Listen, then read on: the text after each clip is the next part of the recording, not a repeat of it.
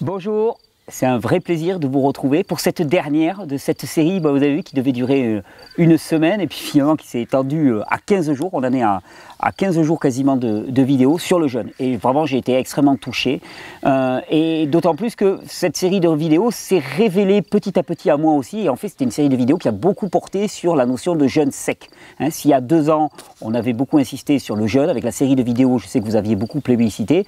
Mais là, maintenant, c'est vraiment le jeûne sec qui a été mis en lumière avec toute la physiologie spécifique au jeûne sec, ses avantages, ses risques aussi. On a, essayé de mettre tout en lumière en, montrant que finalement ce n'était pas une pratique qui était dangereuse à partir du moment où elle était faite de façon sensée. Hein. C'est vraiment la notion avec le jeûne. Et je voulais répéter, cette série sur le jeûne, elle est là avant tout pour que vous compreniez que pour devenir un spécialiste du jeûne, il ne s'agit pas de faire des écoles extrêmement précises et ainsi de suite. Il s'agit d'abord de jeûner et de s'y mettre. Et puis, euh, comme quand vous allez commencer à nager, vous sautez pas dans le grand bain sans bouée, sans aucune protection. Vous y allez progressivement sur la première marche, sur la deuxième marche, sur la troisième marche. Et petit à petit, vous bâtissez une connaissance intime de la réaction de votre physiologie qui va vous permettre de comprendre ce qui se passe et après ben, d'appréhender le jeûne de façon très, très, euh, très, très simple.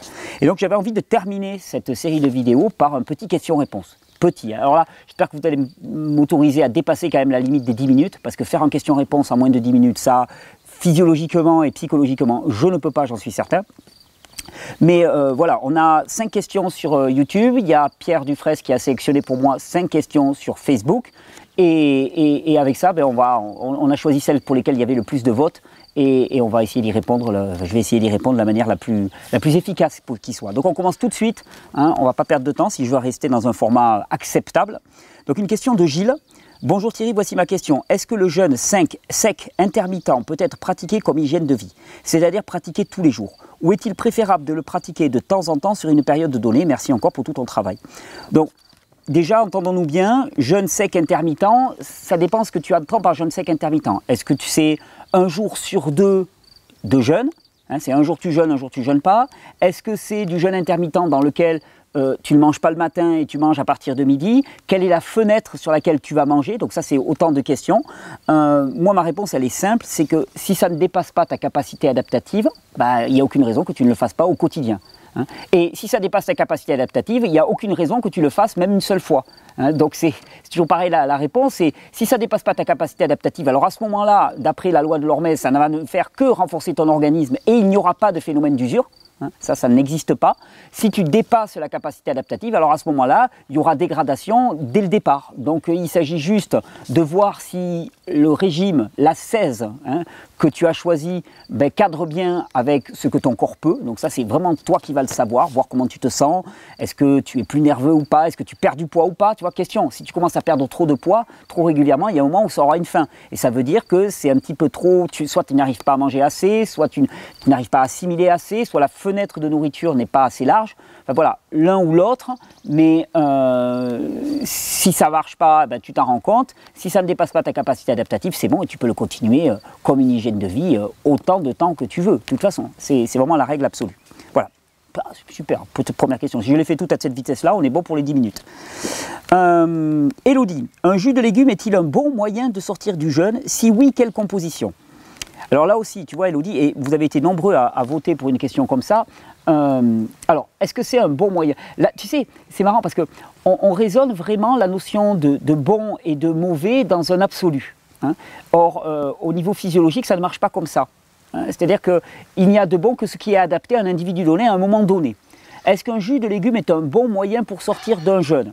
Je dirais, dans l'absolu, il y a des grandes chances que pour une grande partie des gens, oui. Pourquoi Parce que ça va hydrater tout en apportant des minéraux.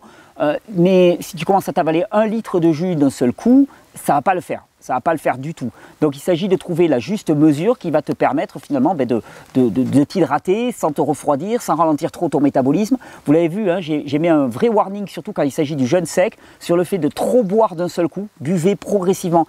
Pensez bien que le, le jeûne, c'est comme un huis clos. C'est un huis clos du corps, hein, dans lequel il, régule tout lui-même, hein, il s'équilibre tout lui-même. Donc si d'un seul coup, ben, vous rentrez dans cet huis clos un petit peu comme, euh, comme un éléphant dans un magasin de porcelaine en balançant des grandes quantités de liquide, ça va pas marcher, que ce soit de l'eau ou des jus.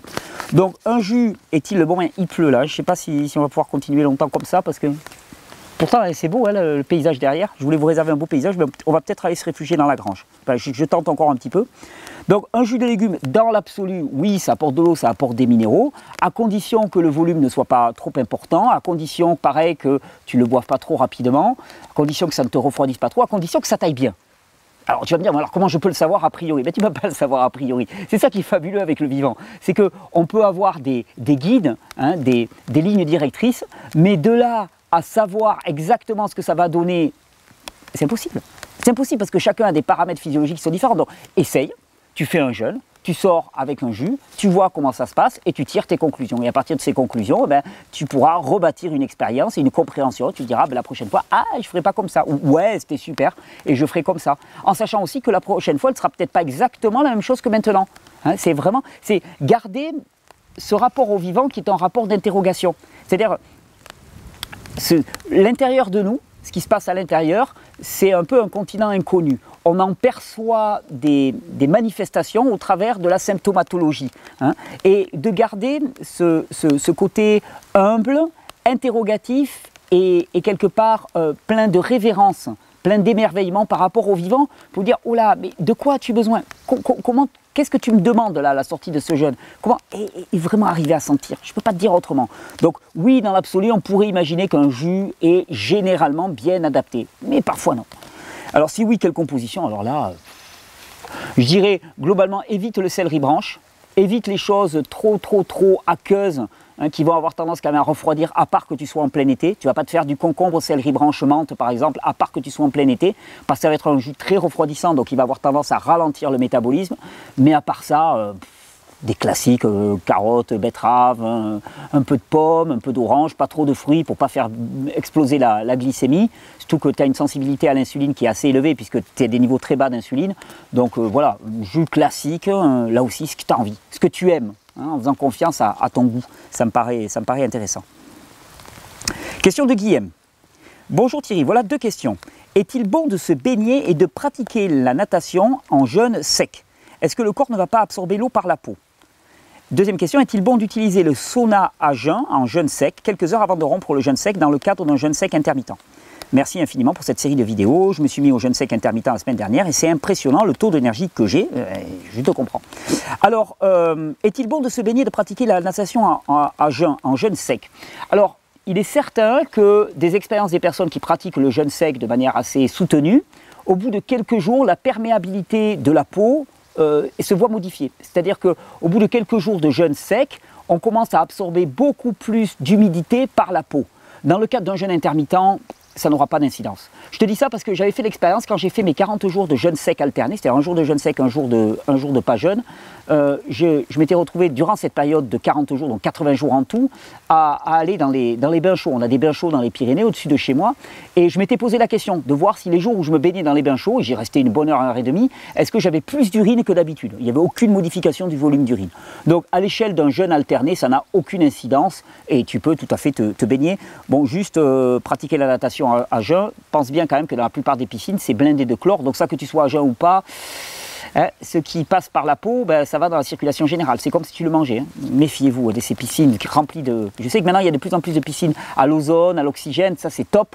Mais sinon, méfiez-vous vraiment. Méfiez-vous vraiment. Est-il bon d'utiliser le sauna à jeun quelques heures avant de rompre le jeûne sec? Alors ça, je sais qu'il y a des personnes qui le font. Moi, je l'ai eu fait aussi. Bon, sur un jeûne intermittent, il n'y a pas trop de risque. On pourrait te dire le risque, c'est d'augmenter la déshydratation de manière un petit peu trop rapide. Euh, dans le cadre d'un jeûne sec intermittent, c'est pas le cas. Et puis, je pense même que ça peut augmenter le stress. Alors toujours pareil, si ça ne dépasse pas la capacité adaptative de ton corps, je pense que ça peut augmenter un peu le stress en te faisant perdre un petit peu d'eau et augmenter ben, la lipolyse et puis finalement ben, l'autophagie des cellules qui sont, les, plus, dégénérées dans ton corps. Donc oui, ça peut donner un coup de boost, à condition pareil, toujours pareil, de ne pas, aller, trop loin, de ne pas trop en faire, de ne pas, aller trop trop loin. C'est la seule règle que je vois. Mais sinon, aucun problème. Euh, on va rentrer dans la grange. On fait une petite pause, on rentre dans la grange, parce que le matériel, il ne va pas aimer. Je vous retrouve, hein, bougez pas. Hein. Bon, on s'est mis à l'abri. Le papier, il a pris un peu cher. Mais bon, ça va. Je vais encore réussir à lire les questions sans les, déchirer. Donc, on a été resté à la question de, Guillaume. Donc, euh, il reste encore deux questions. Vous avez vu des questions courtes? C'est bien, on va faire un petit question-réponse euh, relativement rapide.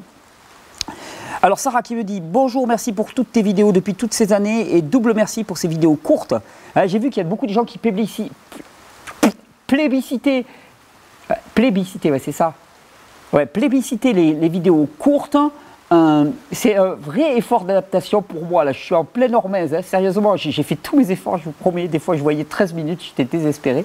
Mais euh, voilà, bon, j'ai fait de mon mieux. On va essayer de faire des vidéos courtes. Et en même temps, je vous comprends. J'ai échangé avec un ami là tout à l'heure et je lui disais, c'est vrai que moi, quand je vois une vidéo de 30 minutes, j'ai tendance à dire.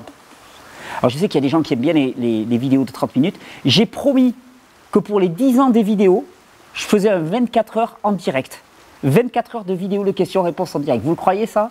Paris, Paris tenu, en 2021, euh, le, 11 février 2021, on se fera 24 heures de vidéo en direct, live, avec des questions. il faudra que vous veniez pour poser les questions aussi, il faudra que vous teniez, hein. en jeune, en jeune, et dans un bain froid.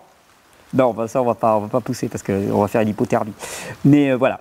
En tout cas, là, euh, je vais essayer aussi de faire des vidéos plus courtes. Donc, euh, qui tombe à point nommé. Pour ma part, je rencontre une problématique, que ce soit au bout de quelques jours de jeûne intermittent ou deux, trois jours de jeûne d'affilée. J'ai mes poisons qui m'appellent très fortement. J'ai beaucoup de mal à y résister. Cela me provoque irrémédiablement des crises de boulimie qui détruisent tous mes efforts je, sais ne pas être la seule dans ce cas. Quelles en sont les raisons physiologiques?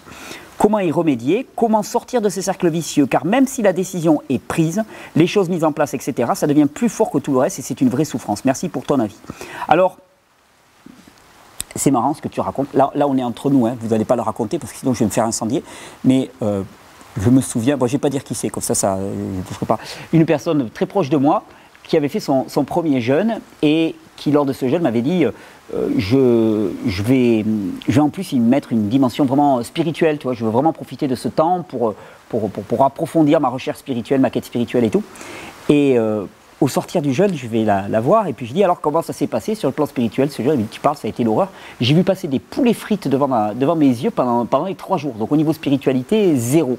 Et c'est vrai que euh, souvent, en, en jeûne, euh, on peut avoir des pulsions comme ça et certains produits même auxquels on était très accro qui ressortent.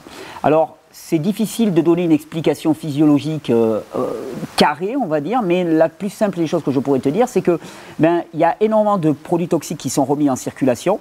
Il est possible hein, que parmi ces produits toxiques, il y ait des molécules spécifiques de certains aliments, et le fait qu'ils ne soient pas éliminés de manière correcte, c'est-à-dire qu'ils restent dans la circulation, ben, peut provoquer ces pulsions délibérées vers certains produits. De toute façon, pour moi, ça ne parle que d'une seule chose, c'est un défaut d'élimination. Hein. c'est-à-dire qu'il y a des produits qui restent en circulation. Cet état de nervosité, de tension, je veux dire, c'est simple, hein. quand tu es habitué à jeûner, quand ton corps a fait le job le gros nettoyage, ça veut dire, du nettoyage, il y a toujours à faire.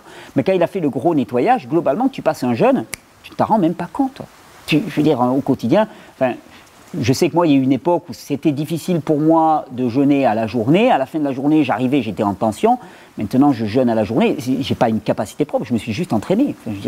J'ai pratiqué, mon corps s'est adapté, il a fait le job, il a fait le nettoyage, et maintenant, ça pose aucun problème. Je peux manger, je peux ne pas manger, je peux boire, je peux ne pas boire. Ça n'a aucune influence sur ma capacité à me concentrer, sur ma capacité à travailler physiquement. voilà, ça n'a aucune influence. Donc ça, c'est le fruit de l'entraînement, c'est aussi le fruit d'un travail qui a été fait, c'est le fruit d'une amélioration des émonctoires.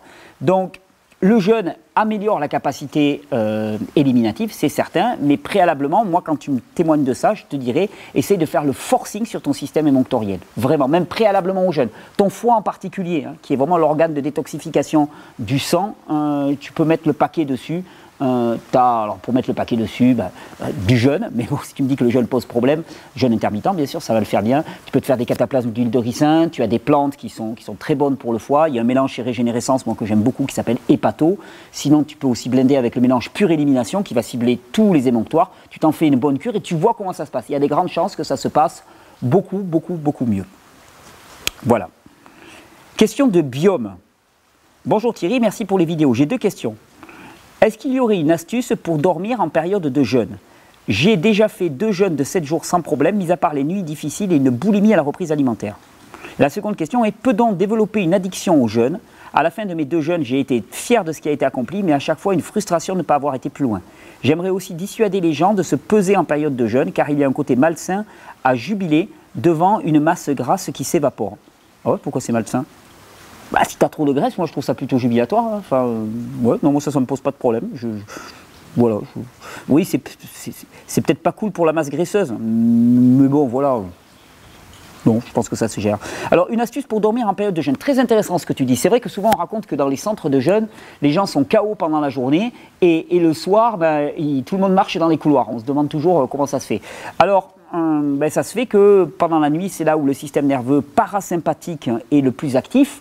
Or, je vous l'ai dit dans la deuxième ou troisième vidéo de cette série, une expérience de nettoyage et de détoxification du corps est une expérience d'activation du système nerveux parasympathique et du repos. Donc quand tu te mets au repos, c'est là où il y a le maximum de symptômes de détoxification. D'ailleurs, c'est pas pour rien que, par exemple, les crises d'épilepsie surviennent la plupart du temps en fin de nuit, hein, dans la nuit. C'est pas pour pas pour rien que souvent on a des pics de température, on a des pics symptomatiques qui se passent au petit matin, parce que c'est vraiment le moment où le corps a digéré jusqu'à 1h, 2h du matin, si tu as mangé le soir, et puis là, il rentre vraiment en jeûne. Le jeûne, on dit, c'est 6 heures, physiologiquement, c'est 6 heures après le dernier repas.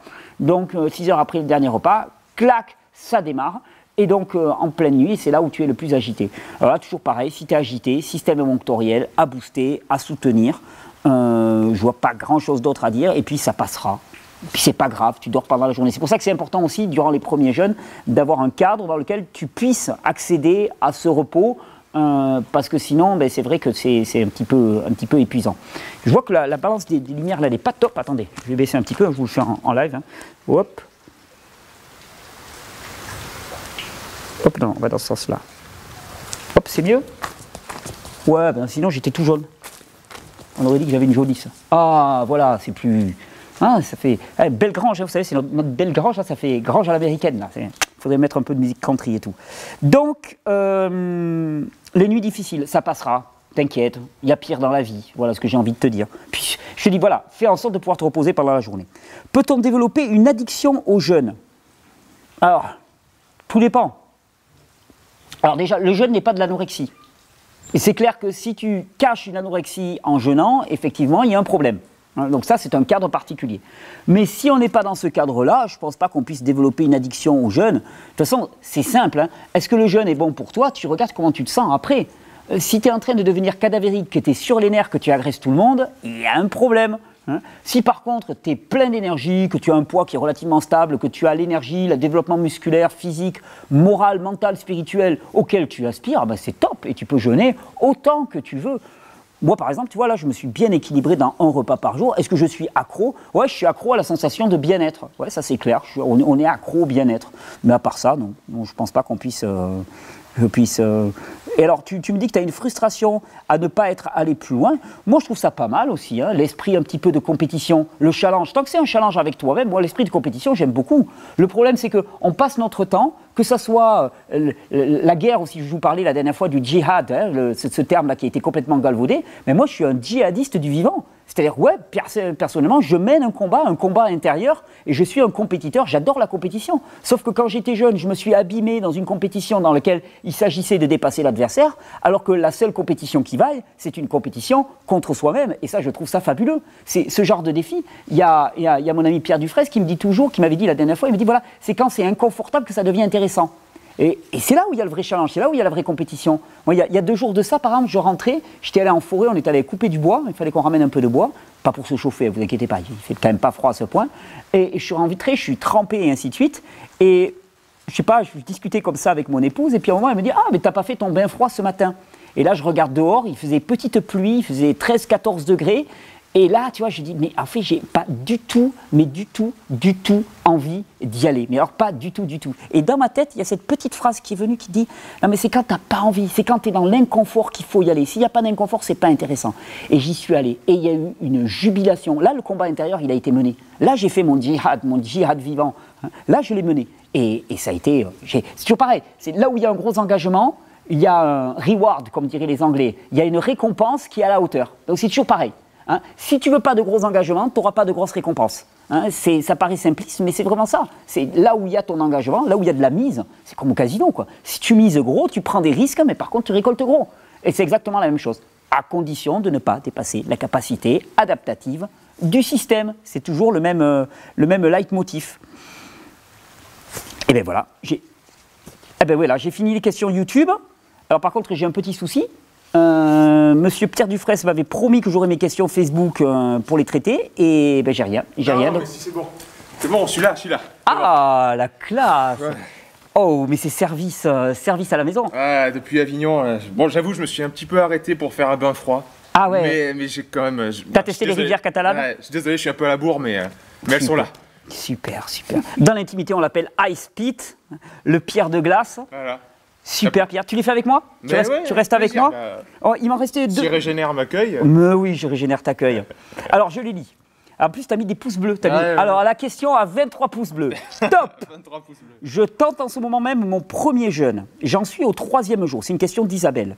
Je voudrais juste savoir que devient notre flore bactérienne intestinale pendant un jeûne? Elle disparaît par manque d'alimentation. Poup, ça, Elle est partie. Elle est partie. là, euh, Elle est par là. Si oui, y a-t-il des aliments particuliers pour la retrouver à la rupture du jeûne? En tout cas, merci pour tout ce que vous faites pour nous aider à retrouver la santé et la joie de vivre. Pierre, que devient notre flore bactérienne intestinale pendant un jeûne? Eh bien, Thierry, euh, c'est une très très bonne question. Non, mais c'est vrai. C'est une question qu'on me pose souvent. Euh, Et qui est lourde d'implications, parce qu'on peut parler Euh. aussi des parasites, qu'il y a dans, enfin, ce qu'on appelle les parasites et tout. Il y a quand même un affamement, un affamement qui se passe. Oui, bien sûr. Alors, il y a plusieurs phénomènes qui peuvent se passer quand on prive d'une flore bactérienne, notamment de- des prébiotiques, donc ce qui, ce qui la nourrit, euh, ce, ce qui est en fait les, les fibres qu'il y a dans euh, vos fruits et dans vos légumes. Euh, et quand c'est sur du trop long terme, on peut voir que ben, les bactéries, elles sont pas folles, elles veulent rester vivantes et elles se mettent à manger le mucus même qui est sur la bordure de, de- de vos intestins.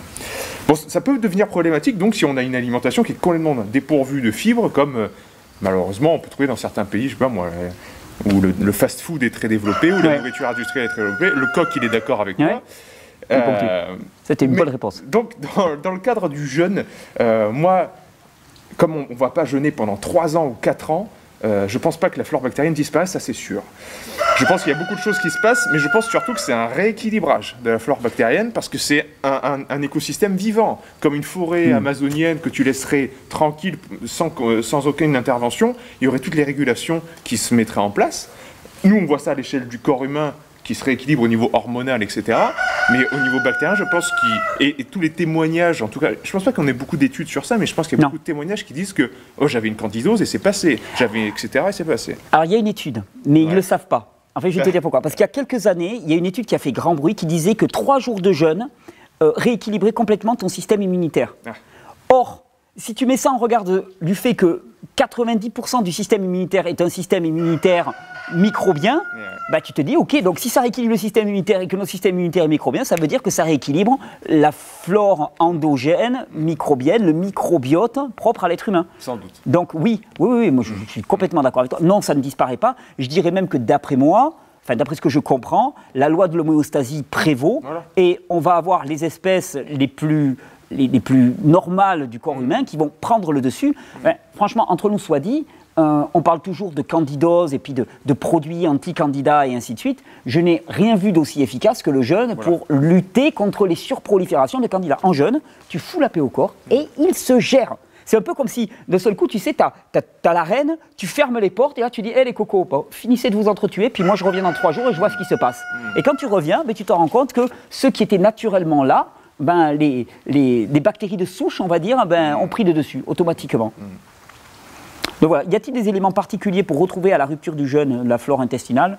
Bah, comme on a dit, hein, c'est vrai que les fibres, c'est avant tout ce qui représente les prébiotiques pour nourrir les, euh, les, les- les bactéries. Mm. Donc, euh, pourquoi pas privilégier une alimentation riche en fruits et légumes Ce serait étonnant, non? Ça serait top, ça serait top, ça serait Voilà, top. par exemple. Bon, tu viens de gagner tes 23 premiers pouces. Yes Alors, question à 16 pouces bleus. Je Oui, dis bien top. 16 pouces bleus pour de Anne Liso. Bonjour. Quelle est la fréquence des jeûnes secs ou non que vous préconisez? Est-ce une fois par mois, par trimestre, etc. Ou est-ce à l'envie ou au ressenti de chacun? Merci pour vos vidéos. Moi, je remercie Pierre aussi pour vos vidéos. Voilà.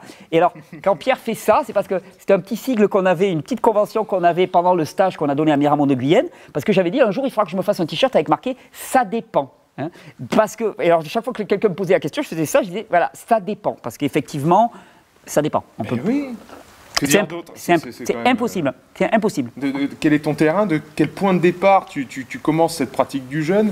Quelle sont durée de jeûne? Et pourquoi tu jeûnes? Oui. Pourquoi tu jeûnes? C'est pour une pathologie? Enfin, peu importe s'il y a un but, déjà, c'est pas, pas très bon de jeûner, mais Pourquoi s'il y a un but, c'est pas très bon? Non, mais c'est pas ça que je veux dire. Tu l'avais très bien dit dans une autre vidéo, mais tu avais dit, euh, euh, quand, quand je t'avais interrogé sur le jeûne intermittent, justement, quand tu avais fait 80 jours avec 40 jours de.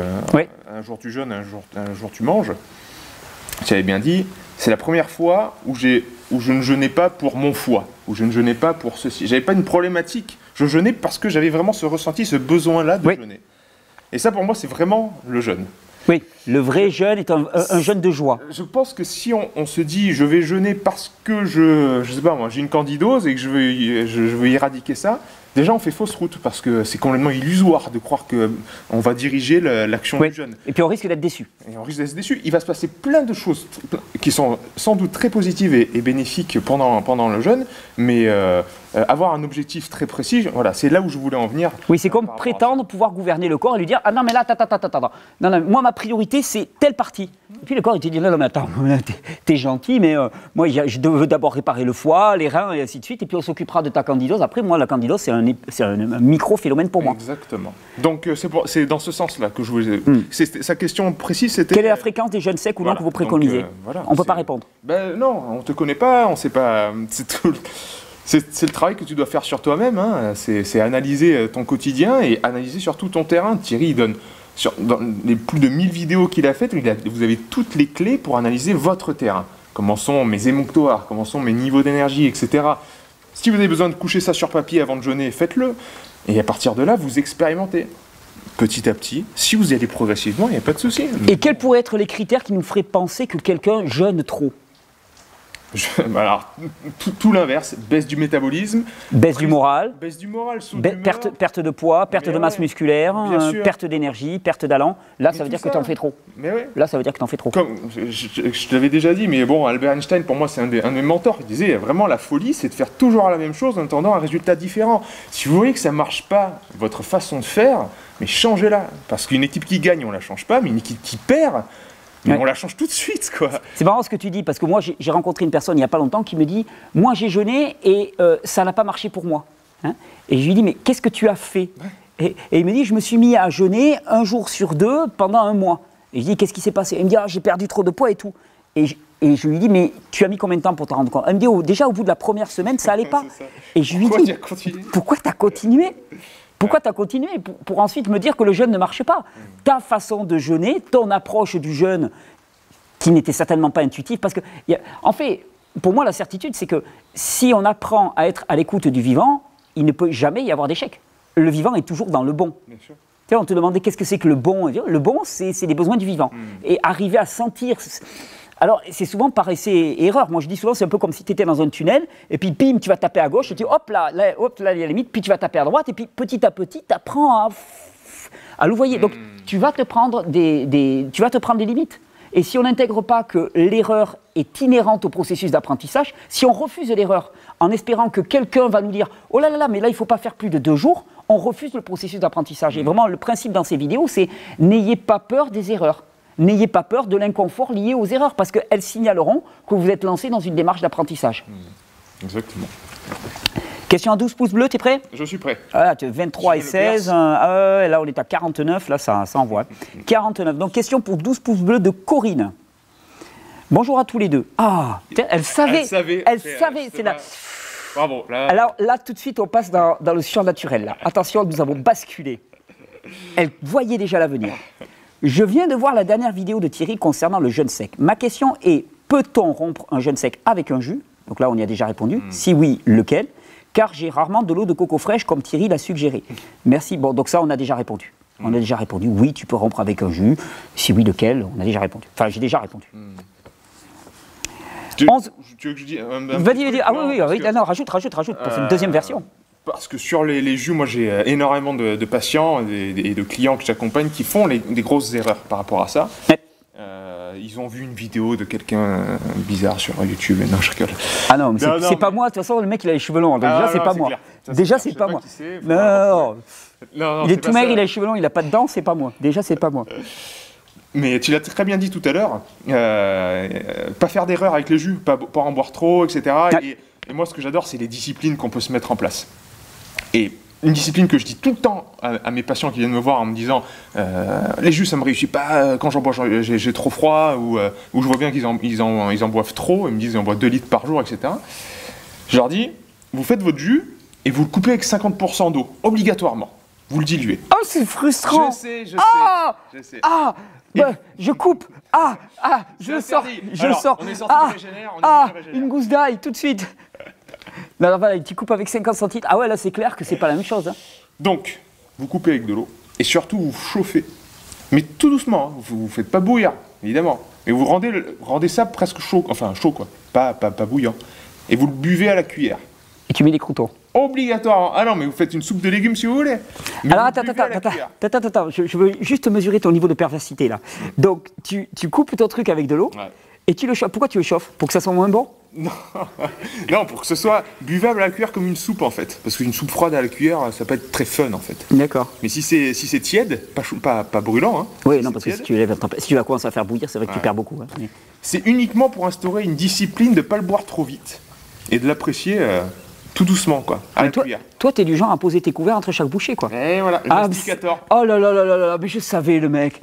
Ah mais tu t'engouffres pas. Mais tu vis pas, toi Ah bah si, justement. Parce que quand on prend le temps de savourer les choses, c'est là où vraiment on les apprécie bien. Et ça, ça empêche justement tous les problèmes dont tu as parlé tout à l'heure. Oui. Élever la glycémie, etc. Et puis, euh, et puis si vous voyez que les jus, ça vous réussit pas, demandez-vous bien si vous le faites bien, si votre méthodologie n'est pas à revoir. Moi, je, ne poussais pas jusque-là, mais c'est vrai que par exemple, moi j'avais pris comme habitude de ne pas me faire des grandes quantités de jus. de ne pas faire un litre et demi d'un coup en disant Ah, je le mets au frais, puis je le bois. Non, parce que tu le feras pas. Tu, vas le... C'est tellement bon, tu, vas le boire comme ça. Non, moi je dis Je me fais un verre. Mm.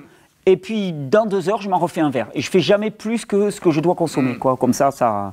Et, et c'est vrai parce que c'est vraiment intéressant parce que tu vas pouvoir dire ah mais les jus ça m'a fait du mal mm. alors qu'en vérité c'est bien utilisé c'est un outil formidable c'est un outil formidable mm. mais c'est comme tous les outils c'est comme les dates les dates c'est très bon si tu te manges 2 kilos de dates par jour tu vas risquer d'avoir des problèmes assez rapidement donc voilà eh Super, mais tu vois, tu as rajouté. Bon, mais donc tu as gagné tes 12 pouces. Mm.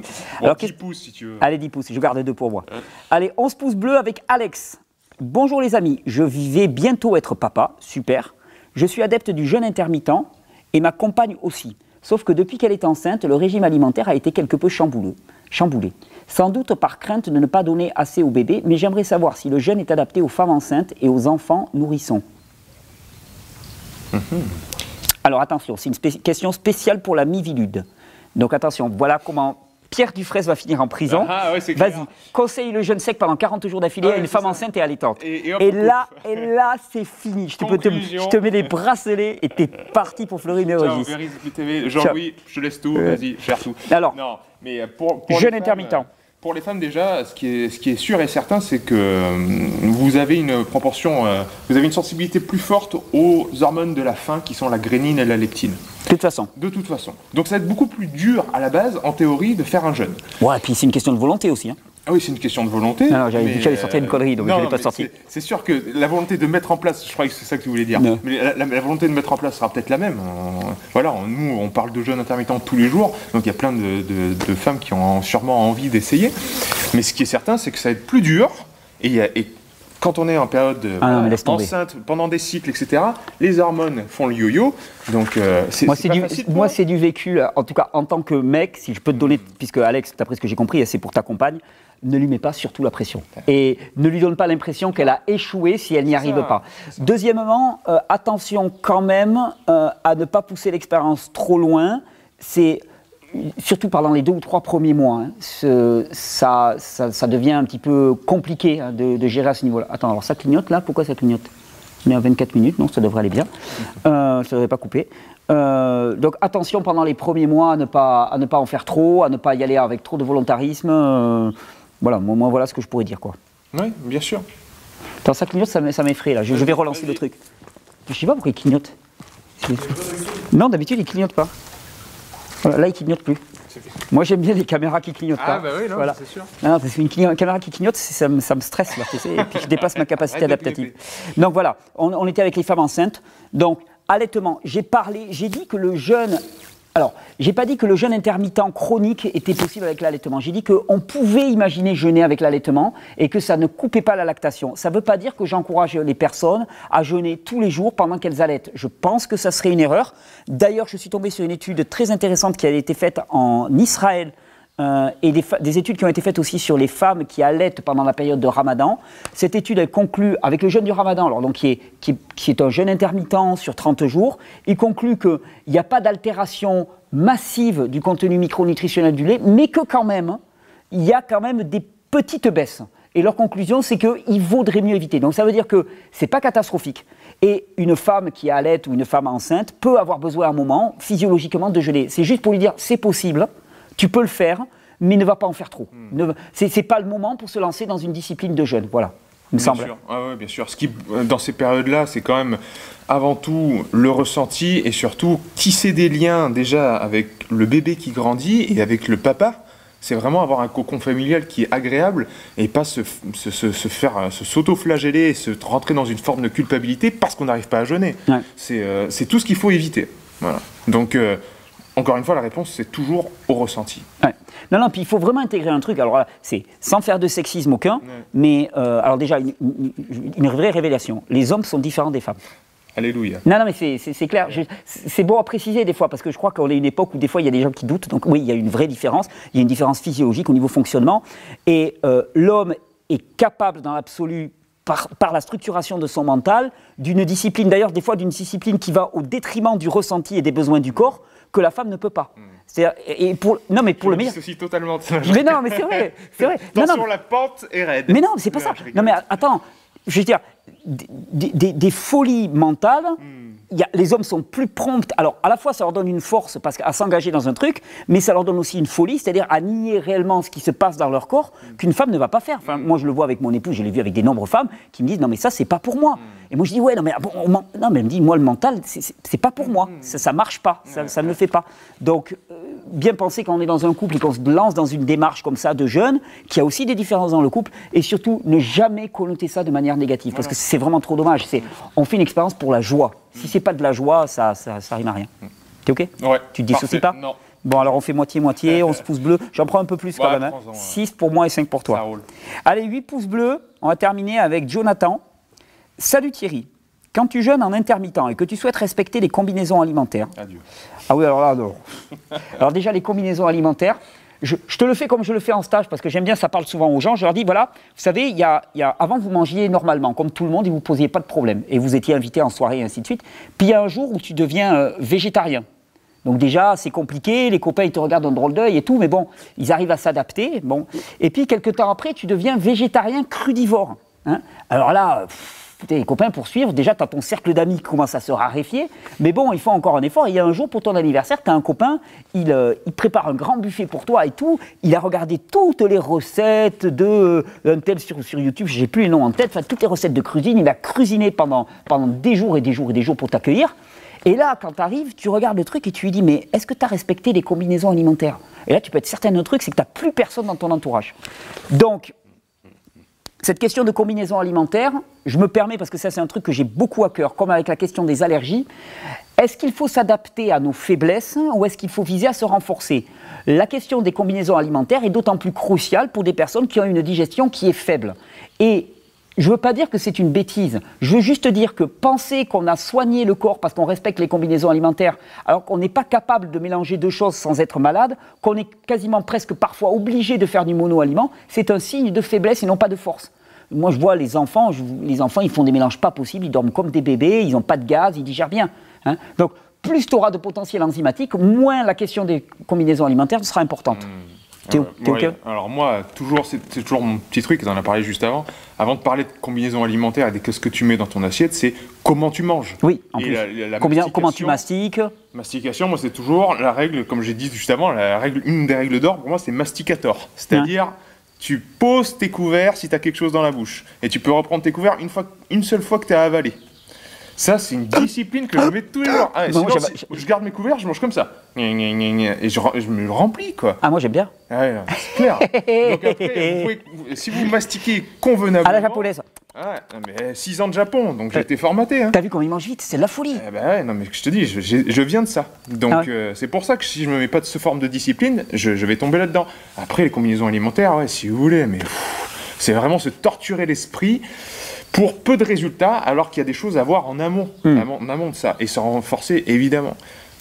Et donc la question c'est comment trouver 2000 calories euh, à manger? Ah, tiens. comment tu as trouvé 2000 calories? Ah Alors, déjà, les kilocalories, il faut arrêter. Vraiment, ça date des années 70, il faut vraiment arrêter. Et c'est marrant parce qu'en fait, moi aussi, je dis qu'il faut arrêter et j'arrête pas de m'y référer. Hein on, est pollué par ce machin-là. Ah, ben non, mais évidemment. Euh, 2000 kilocalories, c'est euh, compter les calories, c'est aussi pertinent que compter le grammage que tu as dans ton assiette. Si à la fin de ta journée, tu te dis Ah, ah ben, j'ai mangé 1,5 kg.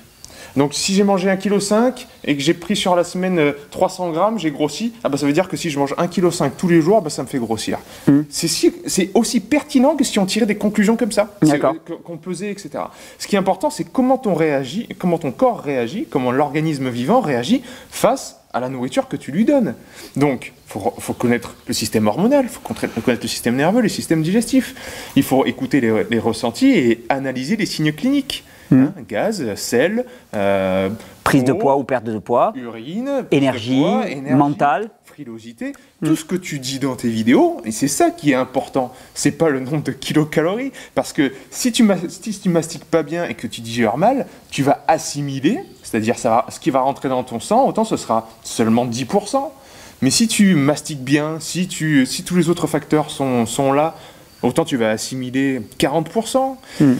Donc ça veut rien dire en fait, demi kilocalories. Ça veut absolument rien dire. Si tu veux bien manger, fais-toi des bons repas, fais une bonne mastication, et là tu auras, beaucoup plus de nutriments qui passeront dans ton sang.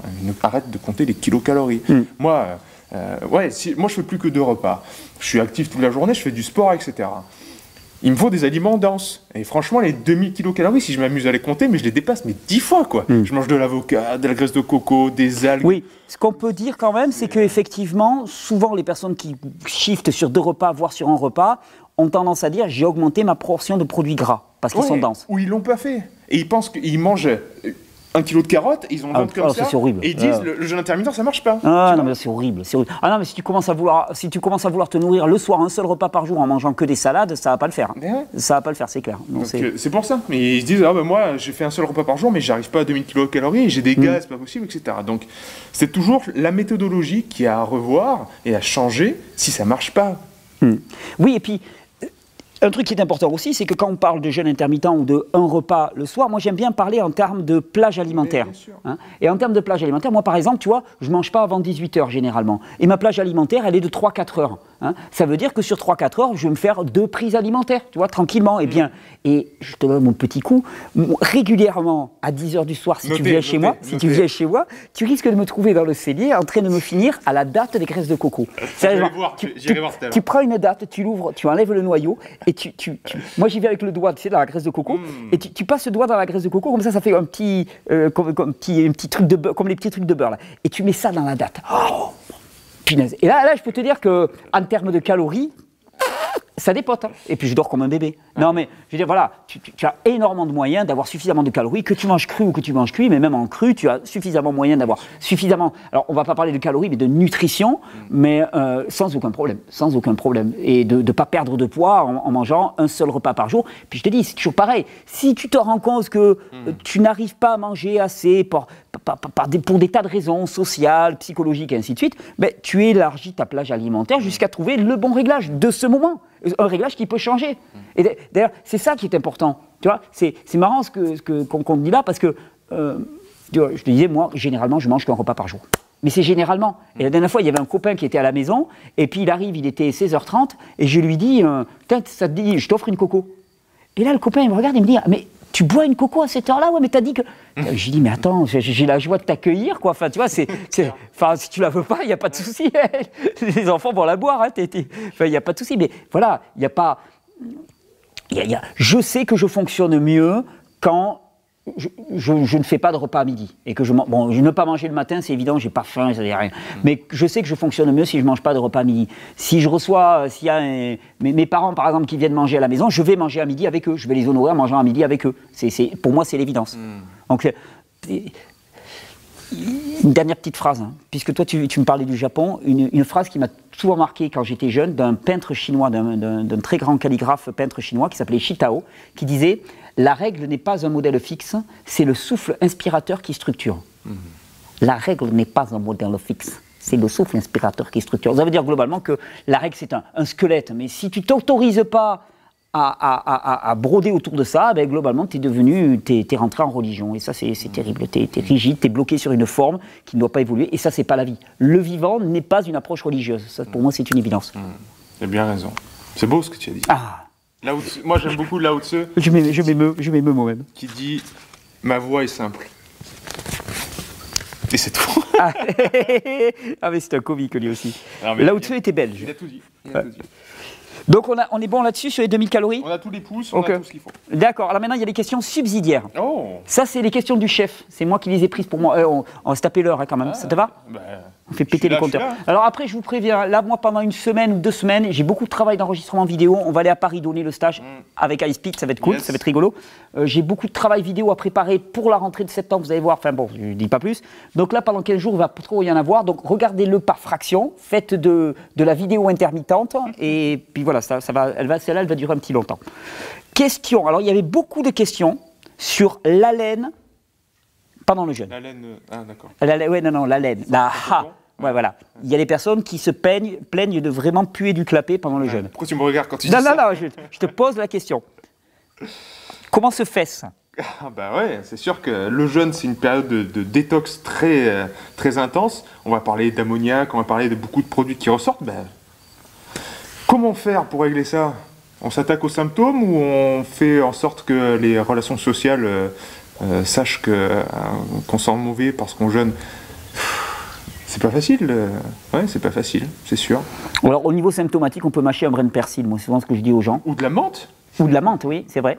De la, menthe. Ça va très vite, hein, ça, parfume. Mais tu mâches et tu recraches. À part donner des conseils comme ça, qu'est-ce qu'on peut dire? C'est les à côté. Hein, Oui, puis alors globalement, quand même, ce que je peux dire, moi, c'est que euh, le système digestif, il est un pour moi depuis la bouche jusqu'à l'anus. Mmh. Globalement, si ça sent les ordures au niveau de la bouche, ça signale quand même que, voilà, à l'intérieur, c'est. Voilà. Ben Et sois content, parce que ça veut dire que c'est en train de bouger, c'est en train de sortir. C'est peut-être un très bon signe, donc il faut se, réjouir, même si c'est pas très agréable. Il faut expliquer à ton entourage qu'il faut se réjouir. C'est clair. Alors, autre question qui est très très souvent revenue quels aliments coupent le jeûne? Ah ah Ça, c'est là, on est dans deux. Ah ouais, là, c'est au-dessus, c'est le soleil. Ah punaise. Quels aliments coupent le jeûne? Alors, les amis, pourquoi vous jeûnez déjà? Parce qu'il y a plein de vertus à jeûner, dont le repos digestif, mm. dont les bateaux d'insuline pour... Euh, ah, les bateaux, les taux bas. Voilà. Oui, parce que les, bateaux, d'insuline, je rame là, pour le coup, je rame. C'est clair, on va tous ramer. Ouais. Non, les taux relativement bas d'insuline pour perdre du poids. Alors, est-ce que vous voulez un repos digestif pour. Euh, voilà, parce que vous pensez que votre estomac, parce que votre foie, on vous a diagnostiqué ceci, cela, il faut vous un, un repos digestif? C'est une chose. Vous voulez perdre du poids ou vous voulez, par exemple, construire de la masse musculaire? Alors, on va prendre les trois grands trucs hein. c'est perdre du poids, faire du muscle et, euh, et, repos digestif qui sont souvent euh, cités comme objectifs. si vous prenez du café, du thé, une infusion, quoi que ce soit qui ne soit pas de l'eau, obligatoirement le repos digestif il s'arrête parce que les principes actifs qui sont dans la boisson, de la plante, du café, du, euh, du, jus de légumes, de ce que vous voulez, le foie, ça passe par le foie, il faut qu'il se réveille, il faut qu'il détoxique tout ça. Donc de toute façon, il se réveille et ça enclenche une chronobiologie des organes qui dure à peu près 12 heures. Donc vous mettez tout le monde au réveil. tu ne fais pas un distinguo entre ce qui contient des macronutriments et ce qui n'en contient pas? Non. Parce que ça. Ah, t'es dur Non, mais ça, c'est ah, une chose. T'es dur Ah, moi, j'ai tendance à dire un petit kawa, euh, ça va, quoi. Non, mais ça, ça va. Ça, ça, ne touchera pas au, au, taux d'insuline, ça ne touchera pas aux deux autres hein. euh, bon et bien fait. Sauf si vous abusez du thé et du café, parce que des hauts taux de thé et de café ont un des effets excitateurs sur les glandes surrénales, et on va avoir ah le cortisol. Pic des cortisol, résistance à l'insuline. Et, et, donc, cortisol qui sort, ça veut dire glycémie qui augmente, hmm. et donc insuline. Hmm. Donc, si vous abusez, alors qu'est-ce que c'est abuser, qu'est-ce que c'est trop boire ben Au-dessus de 15 cafés par jour, voilà. Ça c'est clair. Mais... Ah, j'ai fait l'expérience. Ouais, en intraveineuse Non, non, j'ai fait l'expérience, euh, après deux jours de jeûne sec, de me prendre deux cafés d'affilée. Ah, oui, je m'en souviendrai toujours parce que je devais rejoindre un copain, j'étais en jeûne sec et je devais rouler de nuit. Et je me suis dit, voilà, je suis crevé et tout. Et je me suis pris deux cafés. Je suis arrivé le matin, sérieusement, je faisais des bons. J'étais en lévitation, j'étais comme ça. Il m'a dit, mange là, parce que j'étais dans un état de nervosité. Donc là, le, re- le repos euh, nerveux laisse tomber. Quoi. Ah, c'est clair. Mais c'est c'est marrant parce que quand on pense jeûne, on pense toujours jeûne digestif uniquement. Mm, Alors qu'effectivement, du café, ça va venir perturber tout le système nerveux et endocrinien. Bah oui, non, mais bien sûr. Euh, si c'est une, une petite dose, bon, bah, ton, ton corps, il n'y aura aucun effet, mais euh, voilà. Après, tout ce qu'on a, jus de fruits, jus de légumes, Bon, là, jus laisse de tomber. citron, etc., évidemment que ça, ça fait une réponse euh, métabolique du corps. Évidemment. Euh, L'insuline augmente, c'est c'est presque un repas. Donc, Mm. euh, il n'y a pas, de- pas de question à se poser. Euh, Bon, et après, le poulet, poulet, poulet Oui, basquez hein, et tout. ça, euh, Donc non. là, ça rend le jeûne. ça rend le jeûne. Les infusions. Les infusions, c'est pareil. C'est Principe actif. Mais principe actif, donc le foie, de toute façon, il détoxe tout ça. Et les jeunes, si vous voulez jeûner, venez chez moi, parce que Mais- il n'est pas rock'n'roll du tout. hein. il est tout jeune, il a il a l'air cool comme ça, tu sais, petit brushing et tout, les muscles et tout, mais alors sérieusement, Ouais, non, mais bah, moi, vous aurez un café chez moi. Ah, venez à la maison, hein. café, café croissant pour de... c'est Voilà. clair, avec la tartine de beurre qui Eh, va avec. voilà Vas-y, c'est bon. Non, mais ça, l'alimentation n'a aucune influence sur votre état de santé, monsieur. Euh, allez-y. faites-vous plaisir. On, on ne vit qu'une fois et on meurt qu'une fois aussi. Bon, frites. voilà, d'accord. Donc tout coupe le jeûne. Mais il y y a différents, comme j'ai dit, il y a différents bénéfices aux jeunes. Et par exemple, une infusion de plantes va te faire perdre le bénéfice repos digestif. C'est une chose. Mais après, tu auras toujours les bénéfices de la perte de poids et, et, euh, la prise de masse musculaire. Là, on n'aura pas d'influence au niveau hormonal. Si tu en as besoin, si tu en as besoin pour continuer. Voilà. Non, mais bien sûr. Voilà. Si on est dans une phase de transition, c'est toujours ce que je dis. Vous, vous, arrivez, vous partez d'un point de départ où vous faites 7 repas par jour. C'est déjà Sept super. Ouais. Non, mais c'est clair. Il y a petit déjeuner, il y a, il y a snack à 11h, il y a, il y a midi, puis il y a le goûter, puis il y a le soir. 7 ou 8, quoi. C'est- c'est- c'est- Non, mais Ah, tu, tu rigoles, toi. Toi, parce que tu vis dans ta montagne, mais tout le monde est comme ça, hein, de nos jours. Ah bon Et tout le monde fait des snacks au bureau. Ah, tu veux pas un petit truc? Et puis tu prends un café. ouais. j'ai remarqué qu'autour de moi, les sangliers mangent tout le temps, les ânes mangent tout le temps. En fait, j'aurais dit, c'est de la junk des- food. Il y a des ânes même en ville. hein, Ah d'accord. Mais ils mangent tout le temps, c'est de la junk food. J'ai dit, le mec, jeûnez quoi, faites du jeûne intermittent. Je suis en train de- d'essayer de- de- d'évangéliser les chevreuils Ah, pour mais que... tu les mets à du sucre, à mon avis, ils mangeraient vraiment toute la journée. Ah ouais. Non, mais c'est pas ça que, que, que je veux dire. C'est que si, si vous partez de 3 repas par jour et que vous voulez passer à 2, vous pouvez faire très bien une transition avec supprimer le petit déjeuner en prenant, par exemple, un jus de légumes. Oui, et déjà c'est mieux. C'est déjà super bien. En stage, je me souviens de quelqu'un qui me dit voilà, moi pour le jeûne, il y a un truc dont j'ai absolument besoin, sinon je vais pas y arriver, c'était de mâcher un chewing-gum. Est-ce que ça vaut le coup que je jeûne? Moi j'ai dit non, mais attends, si t'en as vraiment absolument besoin, mâche ton chewing-gum, parce qu'il vaut mieux mâcher un chewing-gum et jeûner. Ou quelqu'un la dernière fois qui me disait mais moi je fume du cannabis et j'ai encore besoin de fumer du cannabis. Je vais dire, je vais pas te dire que c'est idéal de fumer du cannabis pendant le jeûne.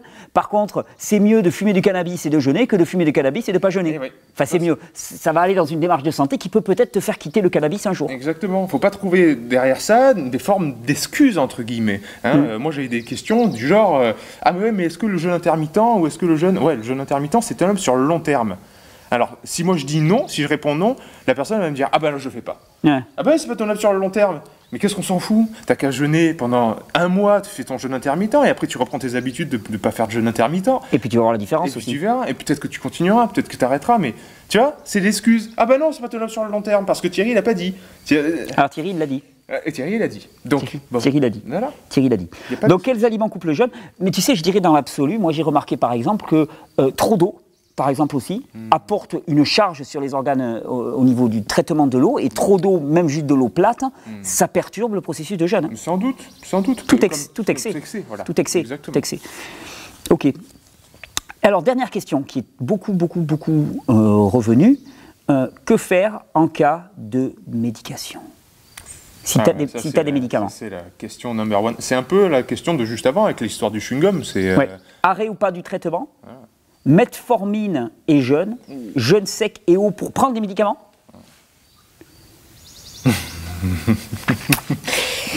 Ça dépend. C'est- toujours un petit peu la même histoire. Là, nous, on n'est pas médecin, donc on va rien dire sur les médicaments. On n'a pas le droit.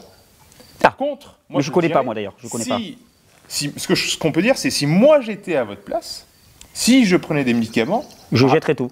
Ah, euh, déjà, ouais, si Non, mais j'arrêterais d'en prendre, mais si j'étais dans l'obligation d'en prendre parce que j'étais vraiment dans un état où bah, il faut que j'en prenne, bah, je ferais quand même, j'expérimenterais quand même le jeûne.